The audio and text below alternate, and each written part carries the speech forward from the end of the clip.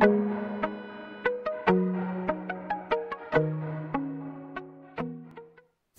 to our channel You Must Know and in this video we will discuss about ammunition and its components. So so, ammunition बहुत ही wide topic है और ये ballistics के under आता है लेकिन मैं इस वीडियो में आपको थोड़ा सा शॉर्ट में एक्सप्लेन करने वाला हूँ। सबसे पहले आते हैं कि एम्यूनिशन होता क्या है।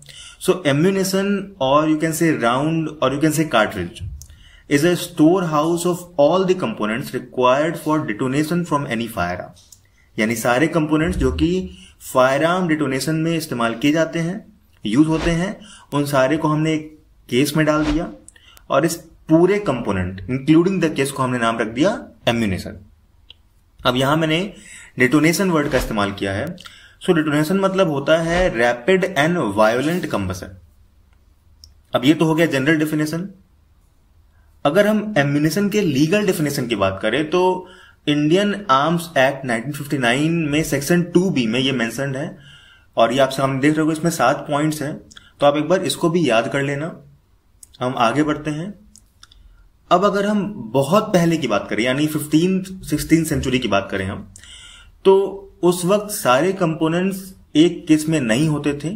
कंपोनेंट्स को इंडिविजुअली फायर आर्म्स में फिट किए जाते थे। And then it was fired but in nineteen century A fully self-contained cartridge was produced by Jean Samuel Pauly in 1808 and इसमें एक कॉपर का बेस होता था and a round shaped projectile आगे लगा होता था इसमें। इसकी डिमेरिट ये थी कि ये सिर्फ़ पॉली के डिज़ाइन किए हुए फायर आर्म में यूज़ हो सकता था। अब धीरे धीरे से मॉडिफिकेशन हुए।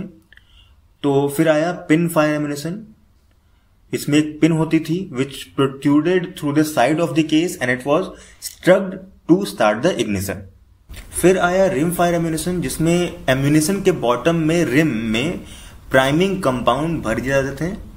और फिर आया सेंटर फायर एम्यूनिशन जिसमें कि जो एम्यूनिशन उसके बेस में एक प्राइमर कप लोकेट होता था एंड उसी में प्राइमिंग कंपाउंड भरे जाते थे। तो ये था एक ब्रीफ हिस्ट्री ऑफ़ एम्यूनेशन अब आते हैं मेजर कंपोनेंट्स ऑफ़ एम्यूनेशन पे। तो पहला है cartridge case which is basically an envelope which contains all the components excluding the projectile मतलब हम कार्ट्रिज केस में प्रोजेक्टाइल को इंक्लूड नहीं करते। अब कार्ट्रिज केस यूजली कॉपर के बने होते हैं। अगर हम पिस्टल या रिवॉल्वर की बात करें तो यहाँ पे ब्रास से केसेस बनते हैं। एंड अगर हम शॉर्टगन एम्यूनेशन की बात करें तो यहाँ पे कार्डबोर्ड एंड प्लास्टिक्स का इस्तेमाल होता है।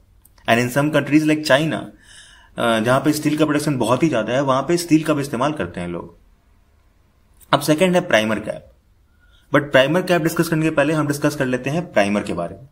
So primer refers to substance that ignite a charge and initiate the action mechanism basically अगर हम प्राइमर वर्ड का को समझे तो प्राइमर प्राइम वर्ड से बदला है। मतलब प्राइम का मतलब होता है इनिशिएट करना स्टार्ट करना। तो प्राइमर जो कंपाउंड है, वो मैकेनिज्म फायरिंग मैकेनिज्म को स्टार्ट करता है इनिशिएट करता है। So priming compound is a very highly sensitive compound which when struck by firing pin will explode with great violence अब ये प्राइमर स्टोर होता है प्राइमर कैप में क्योंकि कॉपर ब्रास या कपड़ों निकल के बने होते हैं। और सेंटर फायर एम्यूनेशन के ये बिल्कुल ही बीच में बेस के बिल्कुल ही बीच में ये प्राइमर कैप लगा होता है, इस पे की फायरिंग पिन स्ट्राइक करती है और ये फिर एक्सप्लोड करते हैं।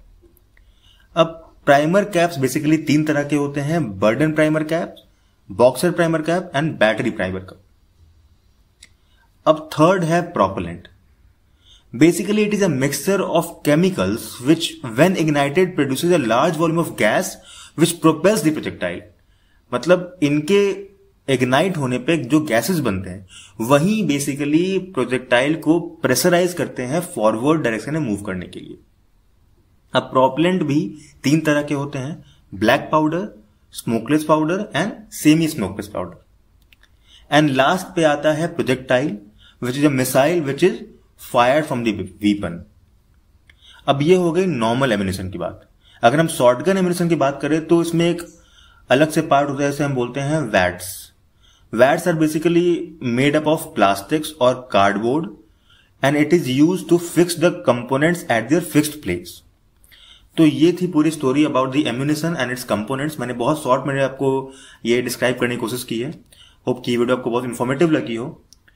और अगर वीडियो लेक्चर से रिलेटेड कोई भी डाउट है आपको तो आप इसको कमेंट में बताओ मेरे को लिख के, या फिर आप मेरे को इंस्टाग्राम पे मैसेज कर सकते हो. तब तक के लिए स्टे सेफ़ एंड बाय